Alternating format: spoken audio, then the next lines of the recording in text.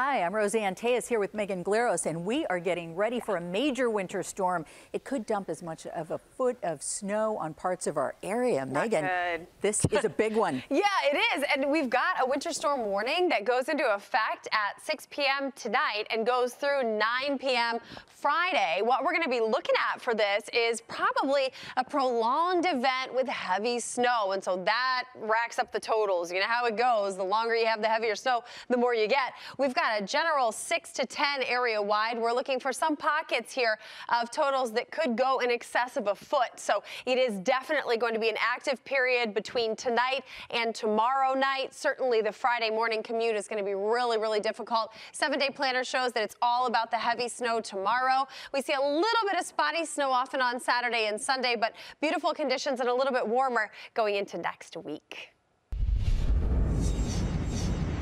Major airlines like American, United, and Southwest have offered to waive change fees. So if you are planning to fly out tonight or tomorrow, you can go ahead and change your flights, hopefully to an earlier flight for today. You can see there are lots of people here at O'Hare right now. They will be flying out. They are fortunate, they are thankful that they can get out ahead of the storm.